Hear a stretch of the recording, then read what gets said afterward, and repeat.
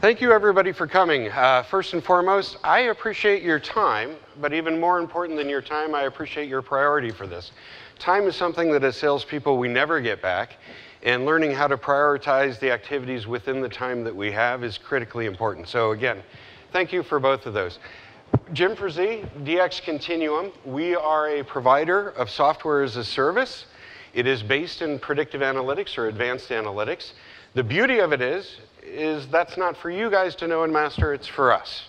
If you have a data science group, they'll appreciate what we do, be able to bless kind of our approach, our algorithms, all of that, but it's making something that's very complex and sophisticated simple for the end user, the salesperson, because keep it simple for the salesperson has kind of been a motto that I've loved ever since I started selling.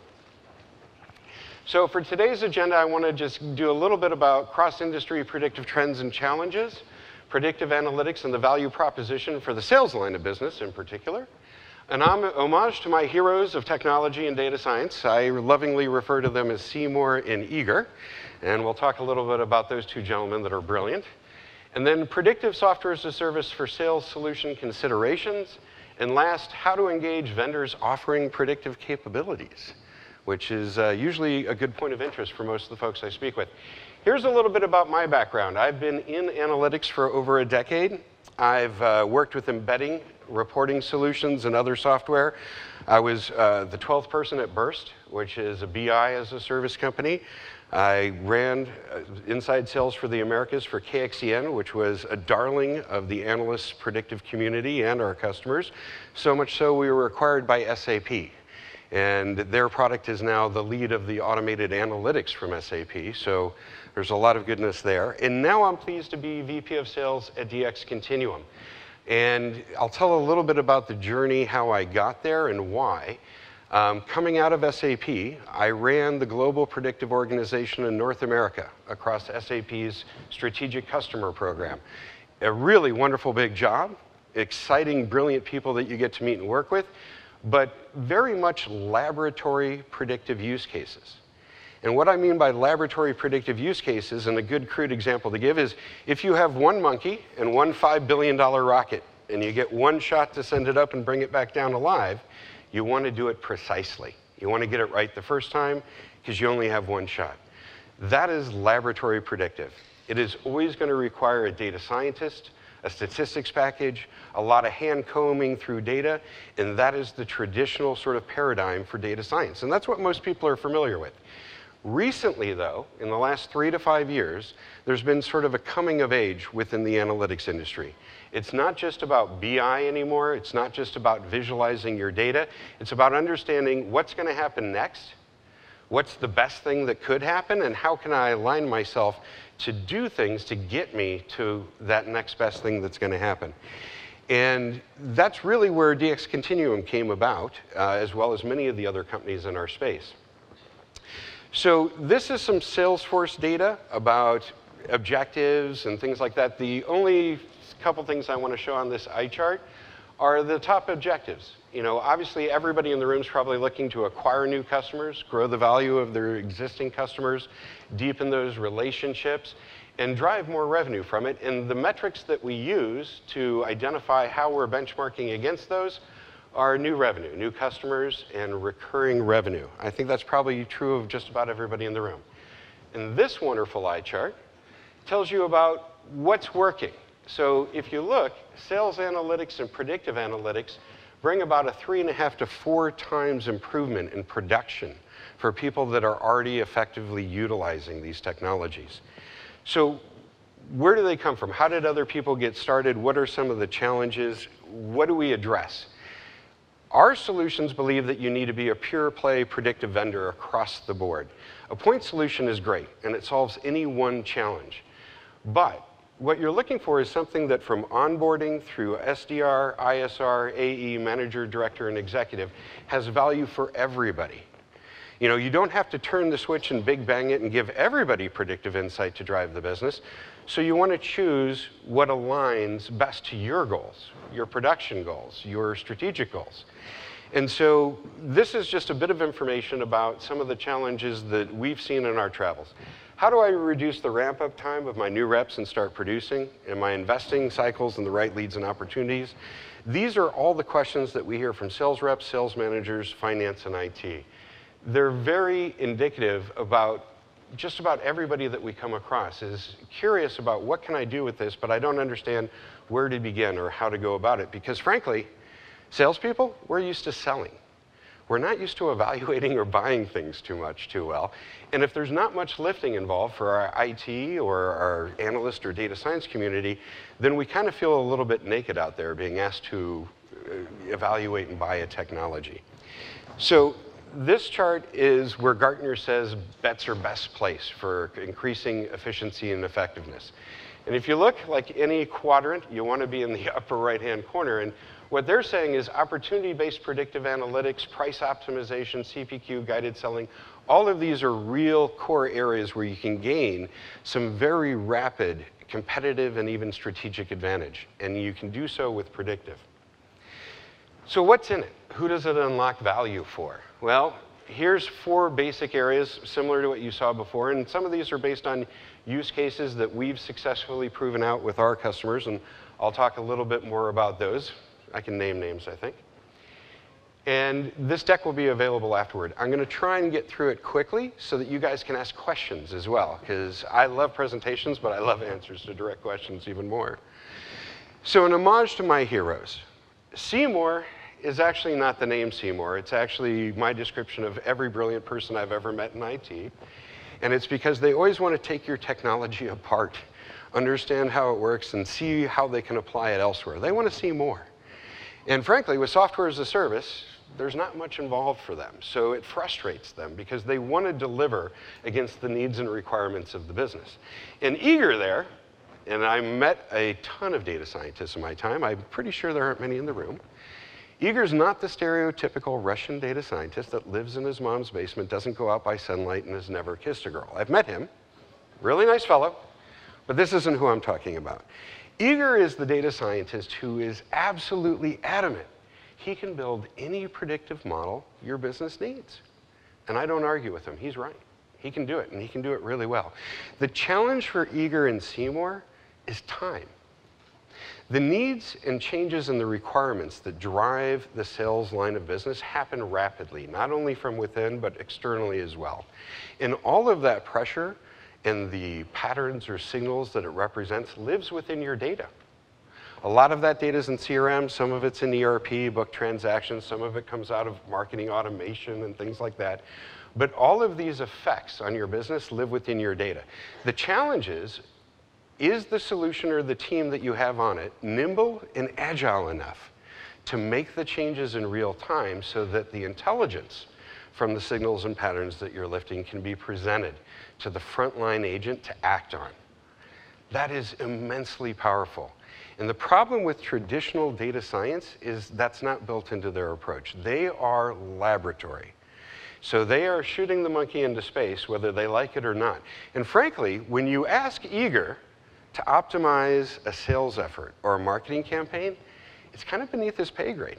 And he's offended by it because he'd rather be working on something laboratory. I think if you were to ask any sales leader in the room, hey, can you wrap bubblegum for me for 30 days? They'd be screaming for a door after two, trying to get out. And it's the same thing you're doing to a data scientist in your organization if you're putting them on the wrong sort of use case to match their education, their training, their skills, their art, if you will. It's not just a science to them, it's an art. And again, I recognize and appreciate that as much as anyone. Igor and Seymour are necessary whenever you're talking laboratory predictive. But when you're talking operational predictive, their time has come and gone. This is about the convergence of big data, machine learning, predictive analytics, software as a service, business process knowledge, and the integration of all of that. We look to our frontline sales agents to master this as quickly as possible so they can ramp up and become productive, but we haven't made it easier for them to manage that marriage of information, to become those experts that we expect of them, because each SDR, ISR, AE, whatever, serves as the tip of the spear for your organization. The more credible they are, the more confident they are, the more poised they are, the better the relationship begins and travels. And empowering them with the knowledge to have a meaningful conversation, understanding the talking points and why, those drivers that predictive surfaces, those are all very important. And we'll talk a little bit more about that. So, cross industry challenges and benefits. It used to be that when it was just the traditional craftsman approach to data science, you had the issues of do I have an army of data scientists at my disposal? And those are not inexpensive resources, and they're not resources you want sitting on a bench for any duration of time based on the cost for them.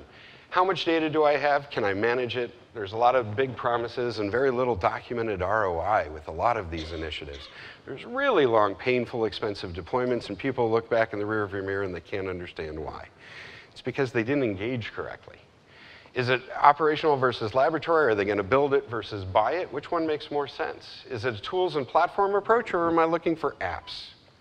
Because frankly, if I don't have the sophistication in my own resources and headcount, it, it, I just made the decision for myself. I need to dip my toes into the beauty and benefits of predictive, but without having to have the software, the hardware, the headcount to staff it up and to drive it. Better, no better place to do that than sales, by the way. And then implementation, training, and adoption. How, how, how good am I at rolling this out and getting people to be able to embrace and, and utilize it? That's going to determine the success of any initiative that's technology based. So, what should the solution look like? We believe that it should be an off the shelf, out of the box app that is simple plug and play, that there's no customization, there's only light data identification and mapping involved, that it's all about the ease of use and in your favorite Sales Cloud UI. I think probably a lot of people are thinking Salesforce. It tends to be a very popular choice. They're ubiquitous almost, but it could be Oracle, it could be almost anything else. And if you don't have the UI that a vendor has, that doesn't necessarily make you dead in the water, but it just makes closing the loop on the analysis and getting it to the frontline agent more challenging. So then, continuous performance monitoring, and that's not only of the underlying model that's giving you the insights, but it's also of the people that are using them. And how can you use that for coaching and mentoring? I've heard a lot of high performance kind of coaching and mentoring themes throughout the day so far, and this is really something that can help support that and provide the information foundation that allows you to have that coaching and mentoring time. And last but not least, it has to be business user focused. It does no good to serve anybody's interest but the frontline sales user. At the end of the day, he's the one, she's the one that's going to go out and win the deal, win the revenue, deepen the relationship. So it's their needs that you need to be focused on. And what are the benefits? This is what we've seen. And some of these are conservative early returns. I'll talk about a couple more customer examples. A 25% increase in revenue. We've accomplished that working on one KPI. Maybe it's lead scoring, maybe it's opportunity scoring, maybe it's price prediction around what price will the opportunity eventually close at. That's a really powerful use case because if you can predict with 85% better accuracy what a deal will close at before the quarter begins, now you can send your team off to get concessions on pricing and T's and C's early so that they're armed and they can negotiate with a point of confidence back, giving up small bits of ground toward that ultimate fallback point. So you're not leaving money on the table as the quarter goes on because people are dropping price just to book a transaction there's all kinds of use cases for the way predictive works. And instead of shoehorning you into what we believe your use case should be, we're far more consultative in that regard. We want to know what is it you're working on because our ability to influence that metric leveraging the information in your data is what you should be curious about. Not that we're trying to fit you into something that we have designed that we think is going to be good for your business. 30% increase in wins, 20% increase in wallet share, and the last one makes me sound like Salesforce there. Cloud, no software, no hardware. And it's about time to value. I mean, this should be measured in days and weeks, never months and years. If you're doing operational predictive, it's fast. That's why it's operational. If you're doing laboratory, expect to spend more time and money. So those are just some of the things that we've seen in talking with people. Here's some of the customers that we've already worked with.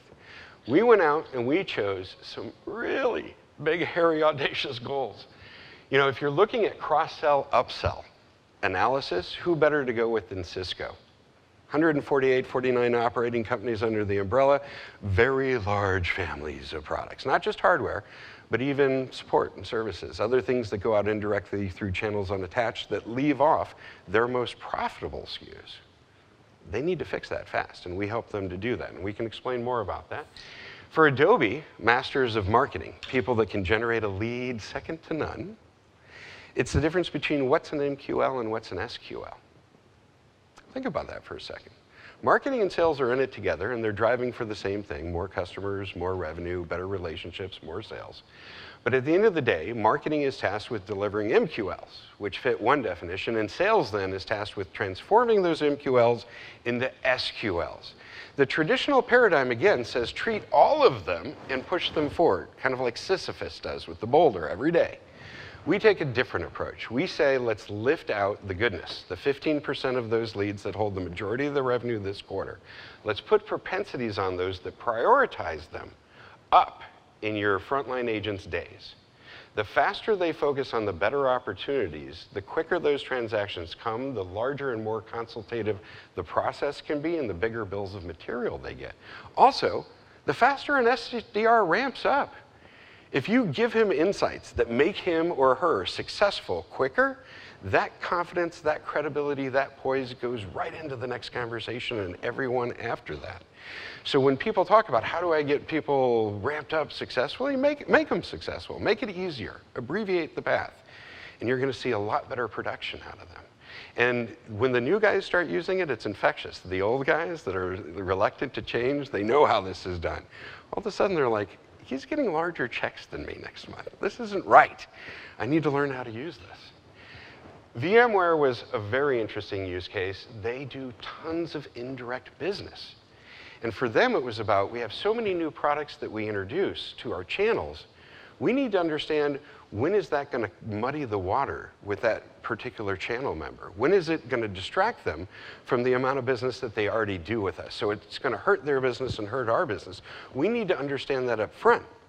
So when we're going to introduce a new product, we need your predictive insights to tell us within the thousands of options of partners who are the best ones who are going to take this and run with it and make it part of their practice and grow a successful revenue generating business and who's going to use it and it's going to distract them and just create noise. We want to know that up front so that we can place our bets effectively. Those are some of the use cases that we work on with those customers. And again, I'd love if you have questions around your own use cases. Don't feel like you have to throw dirty laundry in the street. Everyone's data is imperfect, first of all. There is no such thing as a perfect data set, so that's usually one of the concerns people have immediately. Fortunately, the intersection of technologies that I spoke about earlier means that we work with much wider data sets these days, so perfect data isn't a requirement anymore. A lot of people are surprised to hear that. So this is the sales funnel. And MarTech is pretty much all in that prospecting area for the, for the most part. At least that's our view of it because again, they're tasked with delivering MQLs. Where we live and breathe is lead scoring, opportunity scoring, pricing prediction, and then renewal, upsell, and cross-sell. To us, this is the sales journey for the customer, the customer's buying experience. And you need to be able to deliver value with your solutions to each of the stakeholders along the way, in addition to the customer. The customer receives value because you're speaking their language. You're, you're, you're talking to them about what they care about, and you're helping them to build the right bill of materials, the right, right vendor relationship, what have you.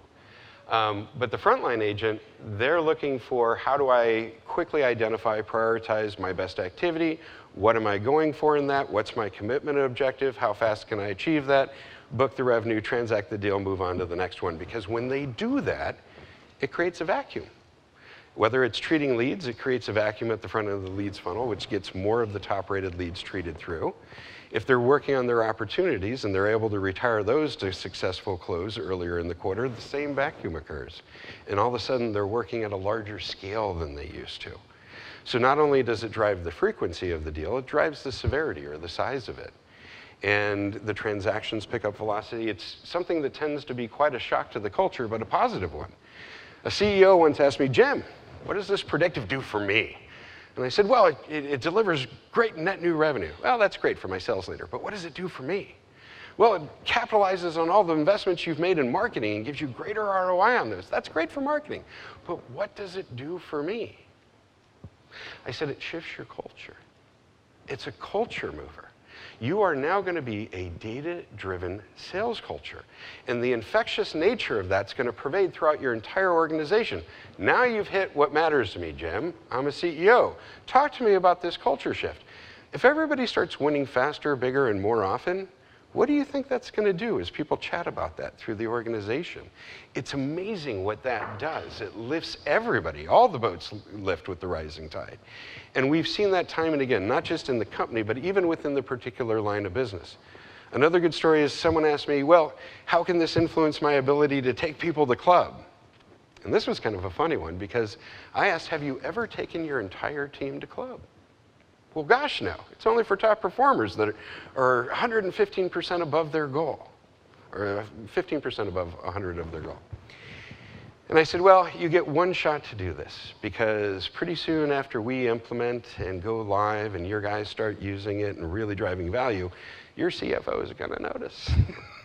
and next year he's going to change your goals because your production is going to be a lot higher. But this is the one year where if we work together early, you can actually take everybody to club. Because as long as they're willing to leverage the insights that you put in front of them, their effectiveness, their efficiency are going to gain leaps and bounds.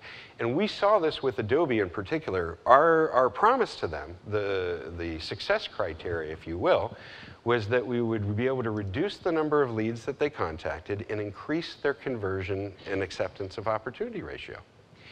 And what we found was they were able to generate 75,000 raw leads a month for this individual business unit that we were going to support. That's a huge amount of leads. They had the scale through headcount to treat 2,000 of the 75,000 they were creating. Where do they begin is the big question. Through all of their marketing automation, the heuristics, the rules-based scoring, and all of that, they boiled 75,000 leads down into 10,000 MQLs. That's a big quality jump there. But 10,000 was still five times as many as the 2,000 they could contact.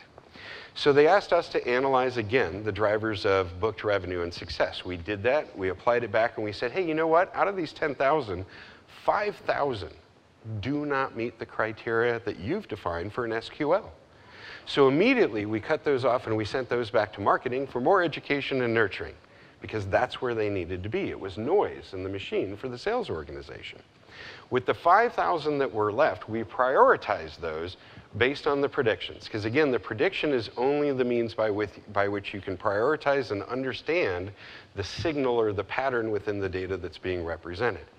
That prioritization allowed them to lift their conversion ratio significantly. Initially, within short time after the deployment, I think three months, they were calling half as many leads, making twice as many conversions, and they said, hey, this is a big win. It meets our criteria. It's four to one.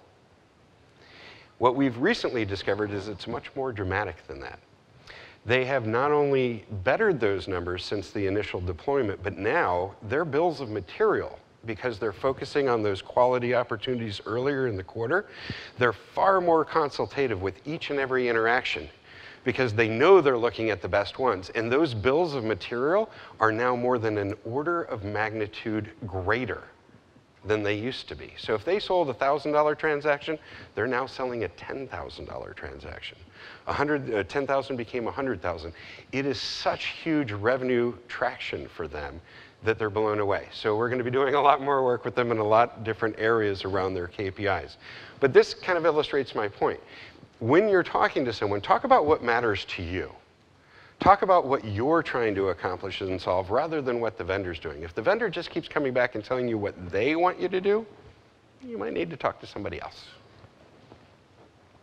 So, on that note, how do I suggest that people engage a predictive vendor?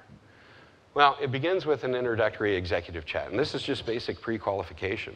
I'll often hop on with a CRO, CSO, head of sales, and we'll just make sure that we're the kind of people that we want to talk to or do business with, that we want to put our teams together. It's a quick 15-minute call, and we see, hey, does this pique your interest, and do you think there's value in here for you? If there is, let's move on to a next step. We'll book some time. And that's a shared learning session where we mutually qualify one another. Yeah, They appear to know what they're talking about. Because uh, we've had a lot of people come in and talk to us about this, but these guys sound very credible and their process seems reasonable. So at the end of the shared learning session, come out with a use case, something that you guys are going to collaborate on, something that you can move the needle on. And then once you've identified that use case, quantify it. It's got to have enough value for you to transact on as well as the vendor. And if it's not there, you want to know sooner than later. So once you qualify what the challenge or opportunity is you're going to work on, quantify it every single time. Because at the end of the day, if it's not valuable enough, everyone will have wasted time.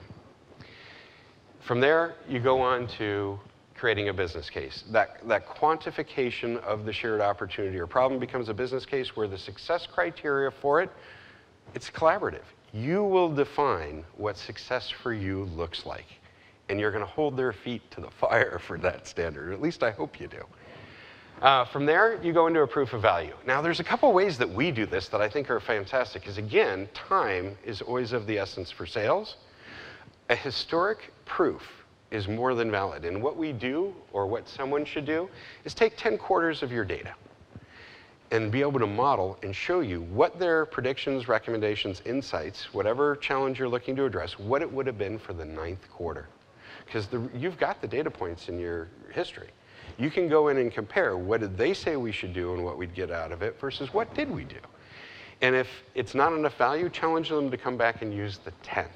Because sometimes, again, we don't believe in throwing data at the problem just for the sake of throwing data at it. We're not consultants that are paid by the terabyte. Um, so there could be some tweaking to the underlying models to make them more powerful, more robust, and we're going to be interested to have that conversation, or any vendor should be interested to have that conversation rather than just walking away. Because again, you want to start with a baseline of data that you think will solve the operational challenge. You're not looking to do a laboratory exercise. So keep it simple, not only for yourself, for the vendor, but also for the success of the project. And at the end of it, there should be a proof conclusion, a results value validation, a final proposal. And frankly, if left up to me, I'm going to create the compelling event. Because I told you what I was going to do for you. Now I've shown you that I've done it. We've proven it. So I'm going to turn the machine off. And often that's a painful thing for people because, boy, do their frontline agents get really accustomed to having the insight. And for us, it's a quick motivator to say, hey, you know, we said we'd do it, we've shown you we've done it. We want to move to the transaction, stand it up, put it in production so that it's there and available to benefit your team heading forward. And then again, in six, nine months, whatever's comfortable for you, let's talk about what you want to accomplish next. Because again, it should be about what you want to do and where you want to go with your organization. So that's just a little bit about me, the company, the background, some of the use cases and success stories. But what I'd encourage you we have just a moment. Does anyone have a question or would like to know something relative to their own organization? Go ahead. That's a great question. As a minimum baseline, you're looking for at least 18 months worth of data in your CRM. CRM will always serve as a starting point because it's where you document who's in your universe. From there, again, there's other things that you can put into it. The other thing is, is you're looking for a population. Um, we generally look for at least 25 salespeople within a sales group, whether they're SDRs, ISRs, AEs, et cetera. Uh, the reason why we do that is we want to try and use the individual agent as an attribute that we can mine against. A good example of that would be in lead scoring or opportunity scoring. If you can mine the agent as an attribute, you can then select based on who's worked with these kinds of people and is most likely to treat it to a successful closure. We can build models and drive great propensities and insights, but I like to have that extra layer of who's the best person to handle this whenever possible. Does that answer your question? Okay. Anyone else? Fantastic. We're going to be outside all day. As a matter of housekeeping, I have one more item. There's a lot of drawings and giveaways. Ours should appeal to every salesperson in this room. Because whether it's for you, your best customer, or your best prospect, we're giving away a pair of greens passes to Pebble Beach. So if you haven't stopped by and met Kevin Brooks at the DxContinuum stand and dropped a business card, shame on all of us please do it. And uh, the drawing will be held within a week or so of the conference, and we'll be sure to contact the winner. Thank you so much for your time and attention. Really do appreciate it. Fantastic. Thank you. Very good.